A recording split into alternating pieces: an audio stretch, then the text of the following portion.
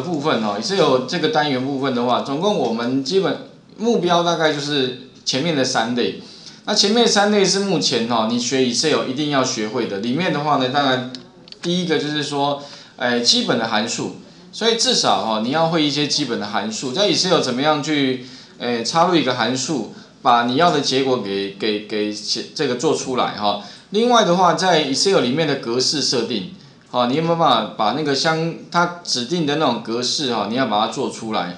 那其他的话有像工作表的工作表的编辑，那在 Excel 里面哈，一个一个页面其实就是一个个工作表啊，里面的话可以放这个这个大量的资料在里面。那里面还有像什么呢？它的如何插入一个新的工作表、删除、重新命名、移动、复制等等的哈。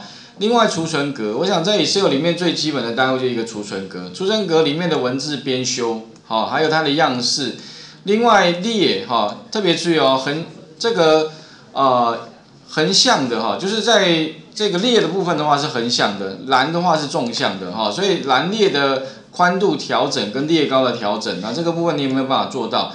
那其他还有像一些格式设定啦、字形的设定，还有一个符号哈，插入一个符号、格式化条件等等的这一些，我想这个是第一阶段哈，就是一零二。到一一零，总共会有五题，就记得哦是双数题哈，一零二，然后一直做做做到一一零，总共会有五题哈，就是可以学会这底下东西了哈。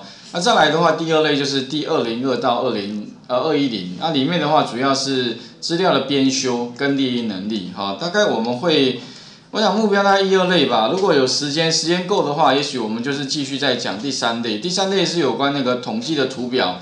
跟那个应用能力哈，大概会有这一些，所以总共呢目标是有十五题啦。不过我想时间如果不太够的话，也许我们大概就讲个十题吧。好，那如果时间还是不够的话，那讲至少都看讲到哪里我们就考到哪里了哈。OK，所以等一下请各位哈开启那个一零二这一题，这一题的话是什么学呃学期成绩计算表啊？那其实利用这个学习成绩计算表的话，打开之后的话，我们来看一下，基本上这个是完成的。那如果说你从那个你们的啊下载之后的那个档案哈，这个里面呢找到一零二，那我把这个档案打开给各位看一下，这个是还没完成的。那完成的话是这一个哈，那里面的话大概做哪些呢？第一个哈，你有没有有没有办法做出他的学习成绩？另外的话，这个学习成绩如果不及格是这个样式。那如果及格是这个样式，还有就是说哈，如果说不及格，但是呢哈，可能在呃期末考试呢，如果说他可能是还有机会加到分数的话，那用惊叹号哈。那另外呢，还有一个就是趋势图，这个趋势图我觉得还蛮重要的，因为现在哈我们要统计，比如说这个学生他的成绩哈高高低低，有没有办法用一个图来表示？那你会发现哦，这个图的话总共会有五个成绩。这五个成绩基本上就是这五个成绩，好，那这五个成绩里面的话呢，哎，怎么样显示？那最后的话是他的学习成绩，你可以看到有没有？最后的学习成绩是这样子，那前面的它的变化起伏很大，表示这个学生哈，他的稳定性其实基本上不高，好，也许他有时候成绩好，有时候成绩不好啊，等等的。那这个地方的话呢，可以把它显示一个趋势图出来，哈。最后的话还有一个什么呢？还要做出这个东西。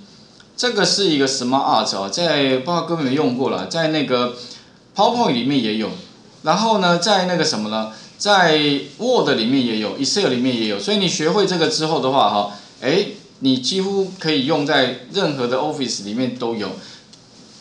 那这个 Smart Art 哈，哎，它要我们做出来类似像底下的效果，那这个底下的效果的话，你可以找一下啦，其中一定会有一个，那做出来要长得跟这个一模一样，怎么做？哦，OK。所以是这个一零二题的部分，那题目部分哦，细节我想各位自己稍微看一下，在这里哈，总共会有那个学习成绩工作表一，一直到总共到五了哈，总共会有五个小题。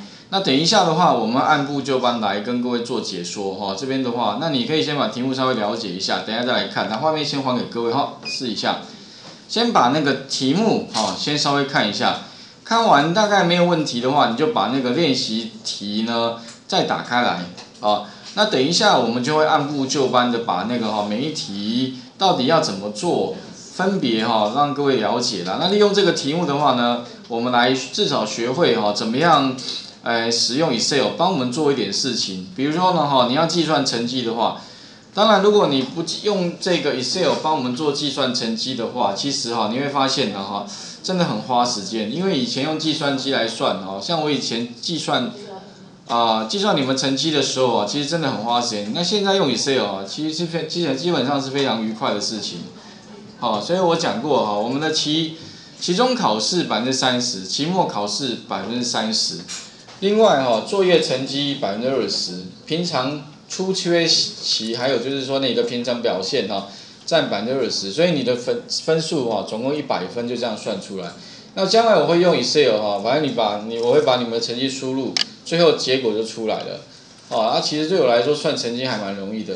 啊，所以基本上你要掌握几个要诀啊，反正期中考试三十分，期末考试也是三十分，这总共就占六十分。另外四十分的话，哈，就是平常好出缺勤跟作业成绩哈。